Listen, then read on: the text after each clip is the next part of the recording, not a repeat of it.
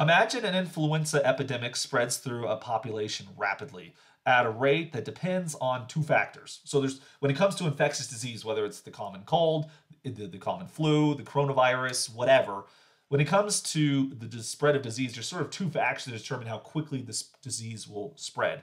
The more people that have the flu, the more rapidly it spreads. So the more people that are infected, the more opportunity there is to spread from those who are infected.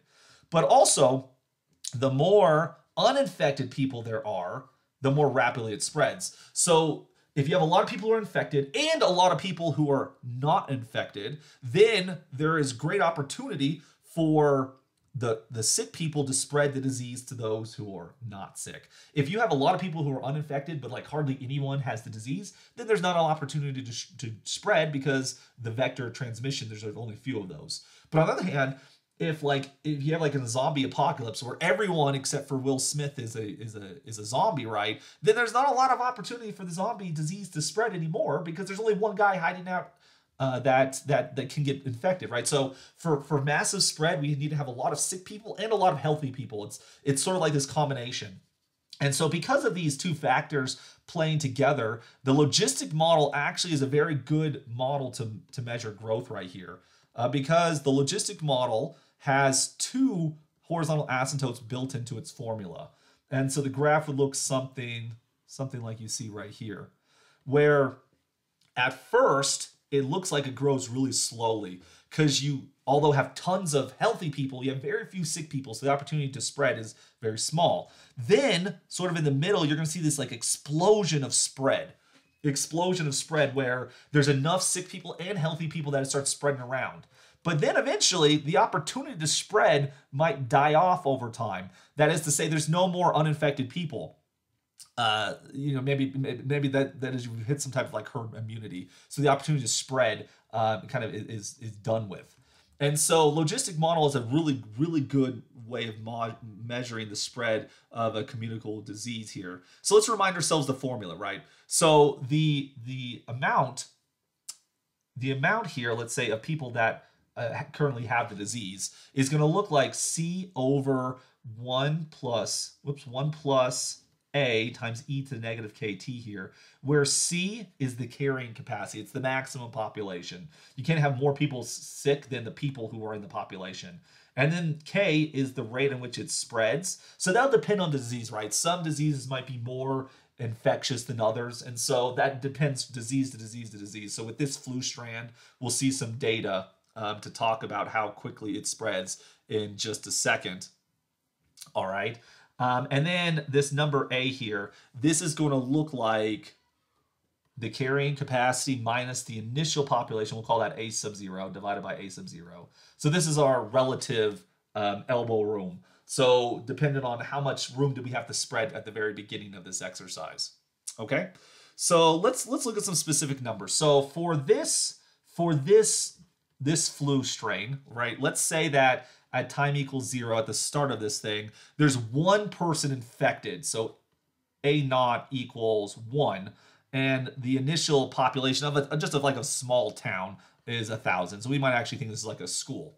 Uh, so, you know, we, we could change this to be like one person has the coronavirus at the local elementary school of a thousand kids or something like that.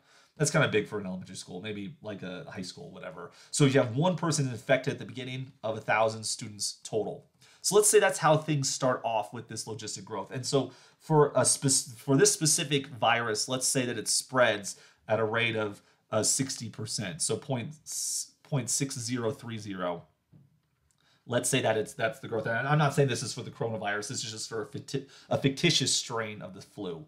Uh, so if these were the parameters for our growth, um, what would the formula be? Well, we'd see that A equals the carrying capacity of a thousand. You can't have more than a thousand sick kids.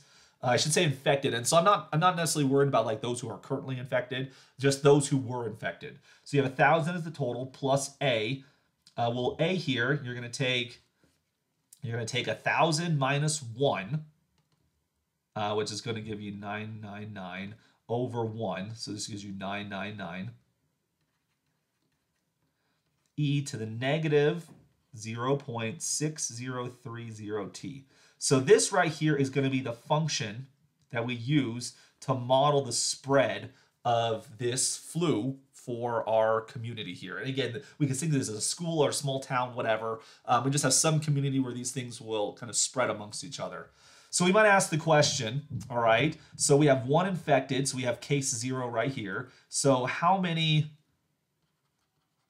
how many say infections after 10 days? How long does it take? Or uh, after 10 days, how many people will be infected? I didn't write down the number. Try that again.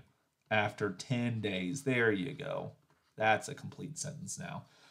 And so what we need to do is we need to basically compute what is A of 10, right? Uh, so what, what's A of 10? This, this growth rate, I should mention, was per day. Uh, attached to the rate always needs to be a timestamp of some kind. So it was growing logistically at 60% uh, per day. So A of 10, we're going to take 1,000, which is the carrying capacity, over 1 plus 999, the initial elbow room, times e to the negative 0.6030 times 10 right? Which times something by 10 moves the decimal place by 1. So that's pretty easy to do without our calculator. Negative 0. Point, I guess we moved it by 1, so we're going to get 6.03 right there.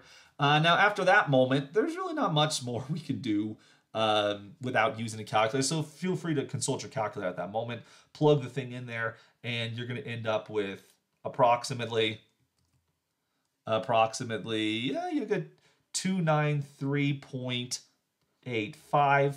Uh, so, you know, this has got to be a person, right? These, these we're counting people here. So we'll round up to the nearest person, 294. This is just a model after all. It's, it's not going to be perfect. But we would anticipate that after 10 days, there'll be 294 cases of this flu throughout the school right? Because there's going to be 294 people that are infected by that. So 10 days is not necessarily a long time, right? If we think about a school, they only meet Monday through Friday, right? That's basically in two weeks. We're going to have almost 300 people infected by this, this strain of the flu virus.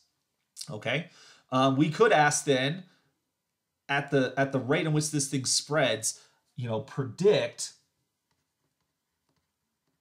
predict when you know we'll reach predict when, uh, let's say, predict when 90% are infected. Okay, so what we're trying to figure out here is when is 90% of the population going to be infected? Well, since there are 1,000 people total, 90% of that is going to be 900. So we have to solve the equation. Solve the equation 900 equals 1,000 over 1 plus 999 e to the, I'm just going to say negative t right here. We have to solve for t.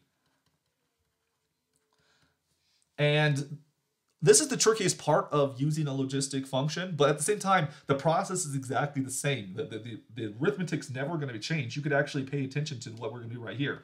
So think of this number on the left as a fraction. We're going to cross multiply, and we end up with uh, 900 times 1 plus 999 e to the negative kt is equal to 1,000. We divide both sides by 900 and we end up with 1 plus 999 e to the negative kt equals 100 if we subtracted 900 from both sides. Uh, um, excuse me, we divided by 900. So it's be 1,000 divided by 900. So we end up with, end up with 10 ninths right there. Uh, then, now we're going to subtract. We're just going to subtract 1 from both sides. So you can take away 9 ninths away from it. And you end up with 999, so many nines here, e to the negative kt equals 1 ninth, like so. Now we're going to divide by 999, 999, 999. Okay, and now we're not multiplying, we're dividing by 999. So that right there is going to give us e to the negative kt is equal to 1 over 9 times 999, uh, for which that's going to be 8,991 in the denominator here. Take the natural log of both sides to get rid of the base e. Take the base e, uh, natural log right there, base e. So we end up with negative kt is equal to negative the natural log of 8,991, for which then to finish we need to divide both sides by negative k, and we see that the answer is going to be t equals negative the natural log of 8,991 over negative k, right, which then makes it a double negative, So you get the natural log of 8,991 over k, which remember was 0.6030. Um, in which case, then we want to estimate this thing and then put that in your calculator. You're going to get about 15.0978.